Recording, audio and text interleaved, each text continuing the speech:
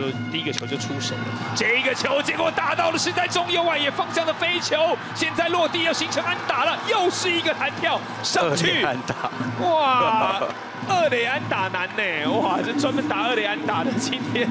林奕泉呢打了三次的二垒安打，这也是一个场地规则，二安。哇，这球啊，当然现在是有一棒啊 追一平的机会，这球打的也够深远，结果一个弹跳就过了全垒打球，哇，这个直杀球，这正好在腰带附近，哦，掌握的很好，嗯，差一点就是追平分的全垒打，差子输啊，哦，一个弹跳上去。